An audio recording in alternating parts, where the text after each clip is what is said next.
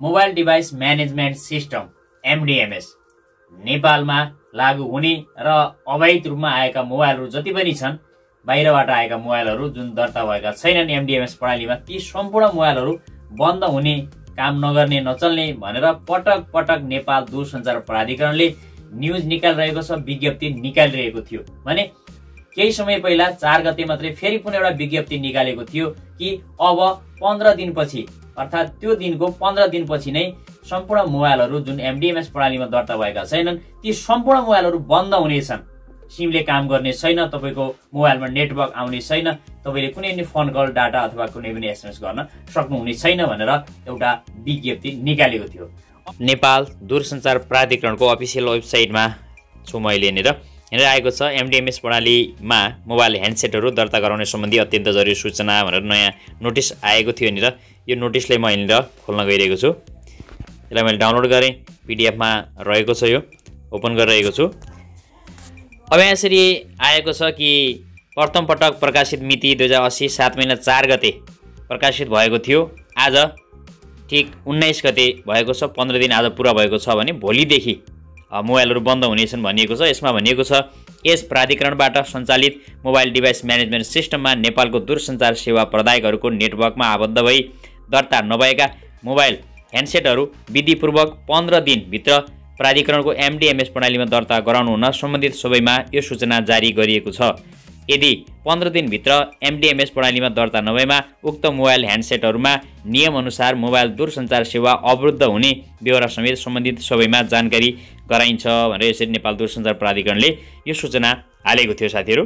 अब त्यो समय आज सकिएको छ र अब भोलिबाट यदि त्यो न्युज सत्य हो वा होइन वा हाम्रो मोबाइल बन्द हुन्छ वा हुँदैन र हामीले के गर्नु पर्ला भन्ने बारेमा आज मैले तपाईँलाई सम्पूर्ण जानकारी दिनेछु यसै भिडियो अन्तर्गत रहेर। साथीहरू नमस्कार म सुन्यो भने यस इन्फो च्यानलमा तपाईँहरू सम्पूर्णलाई हार्दिक स्वागत गर्न चाहन्छु।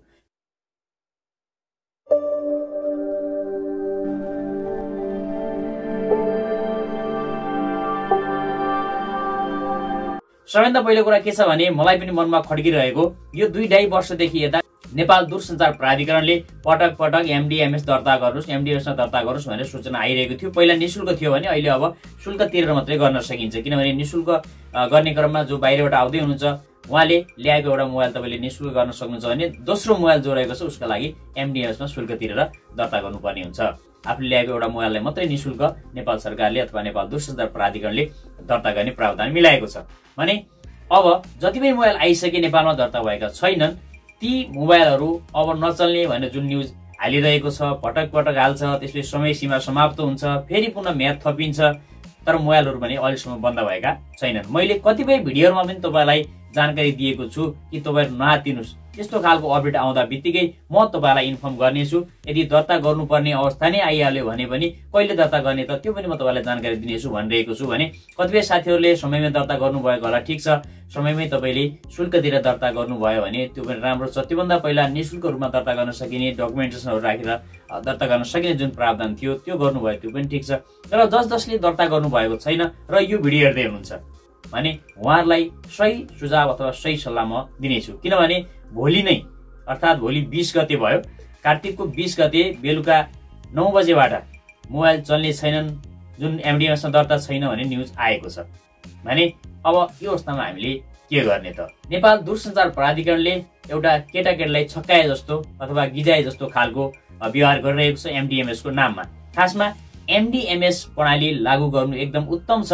मोबाइल चोरी हुँदा अथवा मोबाइलबाट अनाधिकृत कामहरू हुँदा तुरुन्तै कुन व्यक्ति अथवा कसले चलाइरहेको थियो कुन नम्बर त्यसमा प्रयोग भएको थियो भन्ने कुराहरू सबै कुराहरू ट्याग गर्न सकिने भएकाले एकदमै राम्रो प्रणाली चाहिँ हो। तर यसका लागि शुल्क चर्को शुल्क लगाउनु भने एकदमै गलत कुरा हो जस्तो लाग्छ मलाई। किनभने एउटा मोबाइल दर्ता गर्नका लागि दस दस हजार अथवा सामान्य मोबाइलका लागि पनि तिन हजार तिरेर दर्ता गराउनु त्यति राम्रो नियम भने होइन।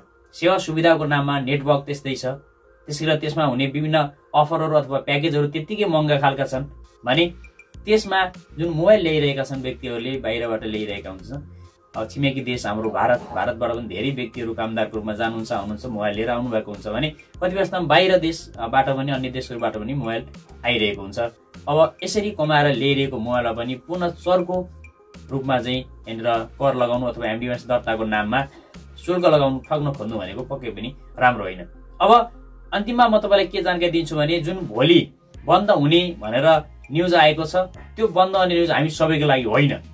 त्यो बन्द के हो भने सुरुमा यसले माथिको अथवा हाई रेन्जबाट चाहिँ बन्द गर्दै जाने भन्ने चेतावनी दिएको छ नेपाल दूरसञ्चार प्राधिकरणले जस अन्तर्गत अहिले भर्खरै लन्च भएको आइफोन फिफ्टिनको जुन सिरिज रहेको छ आइफोन फिफ्टिनको नयाँ त्यो लगभग नेपालमा पच्चिस सयको हारारीमा भित्रिएको अनुमान नेपाल टेलिकमले गरेको छ।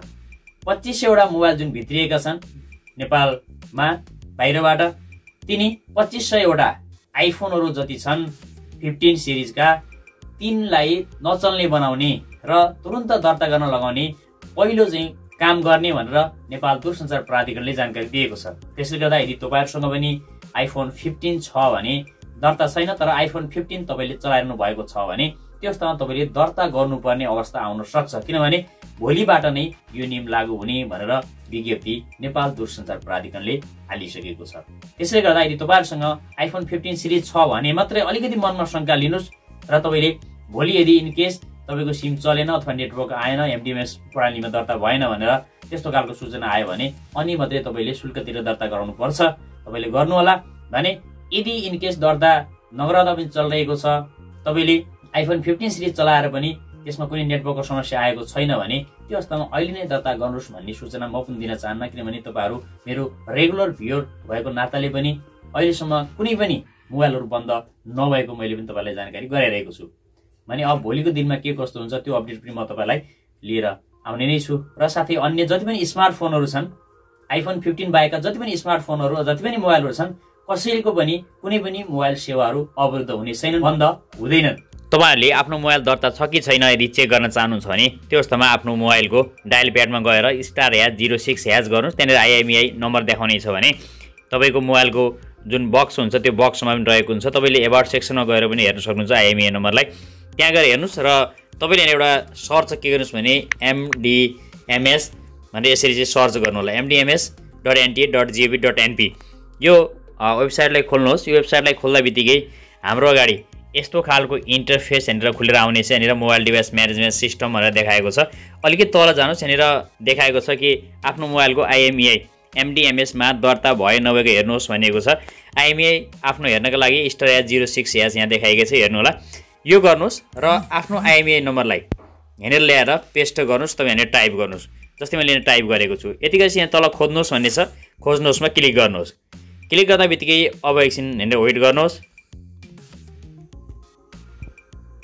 अब यहाँनिर यसरी आएको छ तपाईँको आइएमए दर्ता निवेदन रद्द भएको छ भनेको छ। दर्ताको लागि निवेदन दिनुभएको थियो तर रद्द भयो। यो एमडिएसमा दर्ता छैन भनेर बुझ्न सकिन्छ भने कतिपय अवस्थामा सिधै दर्ता छैन भनेको होला र कतिपय अवस्थामा तपाईँको दर्ता छ भने दर्ता भइसकेको छ भनेर देखाउने छ। यदि दर्ता भएको छैन अथवा यस्तै रद्द भएको छ भने त्यो अवस्थामा तपाईँले एमडिएमसँग दर्ता भएको छैन अब दर्ता गर्नुपर्ने छ भन्ने कुरा बुझ्नुपर्ने हुन्छ। भन्दै आजको यस जानकारीमूलक भिडियो तपाईँलाई कस्तो लाग्यो? भिडियोमा लाइक कमेन्ट र सेयर गर्न नभुल्नुहोला। साथीहरूलाई सेयर गरिदिनुहोला यस भिडियोलाई। साथै च्यानलमा नयाँ हुनुहुन्छ भने च्यानललाई सब्सक्राइब गर्न पनि नभुल्नुहोला। किनभने आगामी दिनमा यस्तै खालको अपडेटहरू मैले तपाईँहरूको लागि ल्याउने गर्छु। हवस् त आगामी नयाँ भिडियोमा पुनः भेट हुनेछ। धन्यवाद।